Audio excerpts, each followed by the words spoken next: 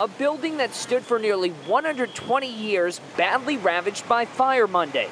The eight alarm blaze tearing through Natick Common, leaving destruction in its wake right on Main Street. It's overwhelming to see this.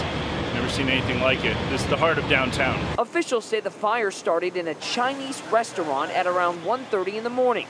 Firefighters say it wasn't easy to contain. Very stubborn fire due to the construction of the building.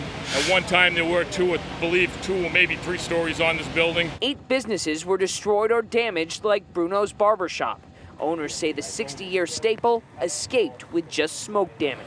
Everyone that's uh, that's uh, contacted us has asked us what they can do to help.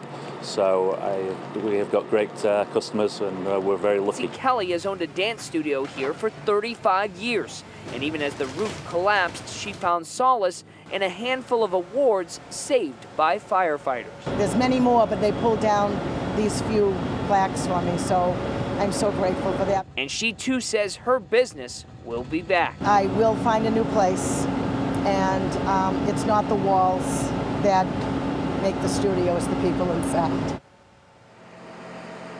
Really well said there, and you can see that firefighters are actually still here at this hour despite all this heavy rain. They said they're staying here just in case anything pops up, any hot spots. The cause of this fire, meantime, has not been determined, but officials say it is not suspicious, and most importantly, nobody was hurt.